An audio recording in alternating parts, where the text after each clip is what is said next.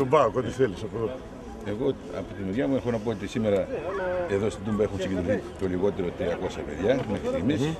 Έγινε κάτι το εξαιρετικό, κάτι το, έτσι, το συγκλονιστικό να βλέπεις παιδάκια αυ- με αυτές, αυ- με αυτές τις ηλικίες των 7, 8, 10, 12, 14, 15 χρόνων είναι κάτι που είναι πάρα πολύ σημαντικό για μας, για τον ΠΑΟ, για την ομάδα μας και νομίζω ότι θα είναι οι καινούργιοι πρεσβευτές του μέλλοντος που λέμε. Μένοντας.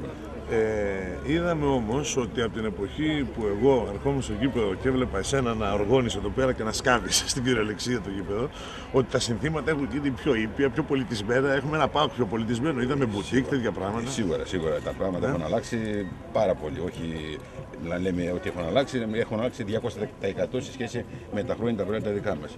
Τώρα έχουν πλέον ε, όλα τα πράγματα έχουν πάει προς το καλύτερο, όλα είναι καλύτερα και νομίζω ότι αυτό το δείχνεται και από, από τις εγκαταστάσεις που υπάρχουν, από τα κήπεδα που υπάρχουν και όλα αυτά. Όλα έχουν- Σάβρο τα λες καλά. Υπάρχει μια διαφορά. Ναι. Εμείς οι παλιοί ξέραμε ότι ο Σταύρος Σαράφης και οι άλλοι, όταν φορούσαν την, πα- τη φανέλα του Πάοκ, τον πολύ υδροτά γινόταν ένα με το πετσί και από μέσα και απ' έξω έλεγε Πάοκ. Τώρα τα επαγγελματικά, Όχι, εντάξει. πώς γίνεται; Και τώρα υδρώνει. δεν Υπάρχει, μπορούμε- υπάρχει παράπονο από τον κόσμο. Το ξέρεις αυτό και όλες οι ομάδες. Όχι μόνο Κοίταξε, του εντάξει, Πάοκ. τώρα τα, τα χρόνια τα δικά μας είναι διαφορετικά, τώρα είναι διαφορετικά. Τώρα οι παίκτες έχουν τριετή, διετή συμβόλαια. Τότε εμείς μέναμε χρόνια εδώ πέρα.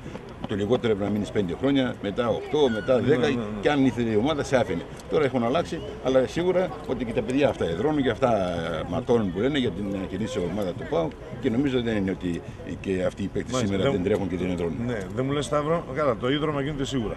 Λοιπόν, ε, το φυτόριο πώς το βλέπεις, θα βγει, δηλαδή πώς γίνατε εσείς τότε, θα βγάλει ο Πάοκ παίκτη. Η προσπάθεια γίνεται προς αυτήν την κατεύθυνση. Τώρα, σίγουρα από τα παιδιά αυτά υπάρχουν αρκετά παιδιά που και ξεχωρίζουν και έχουν την, την ε, φινέσα. στόφα, Να- τη στόφα, έτσι. Ε, νομίζω ότι ο χρόνος θα δείξει. Μάλιστα. Χρόνος θα Λοιπόν, δείξει. εύχομαι κάθε επιτυχία.